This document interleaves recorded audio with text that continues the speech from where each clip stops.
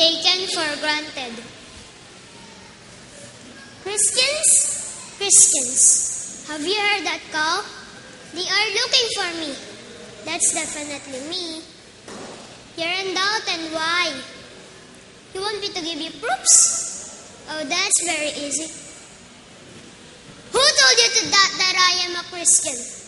I am a Christian. How? I went to church. I pray. I have my religion. I read the Bible. I love kids. I'm giving them what they want. I sing gospel songs. Now you're telling me you're in doubt? How dare you question me? Can't you see? Or are you blind? I am a true definition of a Christian. You're so pathetic. You don't have the right to question me that way. What? You want to ask me more? Let me think about it for a second. Hmm. Okay. I'm sure I'll be able to answer questions fluently. Go on, ask me. You're asking me if I go to church every Saturday? I told you I go to church! Um, but, but, but, not every Saturday. Every other Saturday. I guess that's fine with the Lord. Liar! I'm not a liar.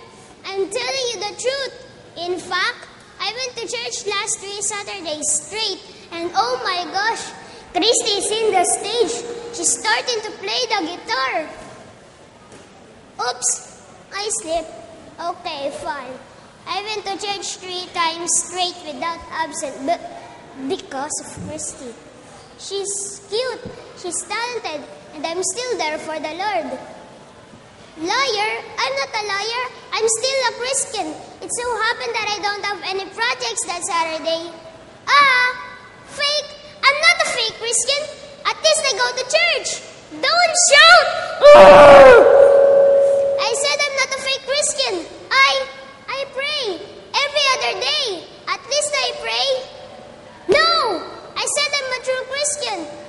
Bible. I open it every time the pastor is telling me to do so.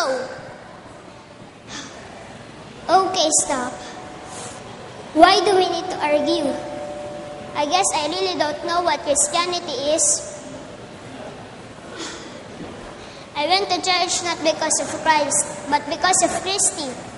I'm sleeping every time there is a sermon because I only love the music. I, I don't read my Bible because I guess that's boring. I sing, Jesus, I surrender. I draw nearer. I fall down. But the truth, I'm not sincere with that. I guess my works will be credited in His name. I share my blessings to the poor. I give gifts every Saturday, and I have my religion. I guess that works. I don't know. Right. Ephesians 2, verse 8 to 9 was right. It's not by works that I will be saved, because Jesus is the only way. And I am so wrong. I don't even mind the sacrifices on the cross. I should be there because those are my sins. I forgot my purpose here on earth. I'm doing things not for His glory, but for my own. You know what? He's been good to me, but I always take Him for granted.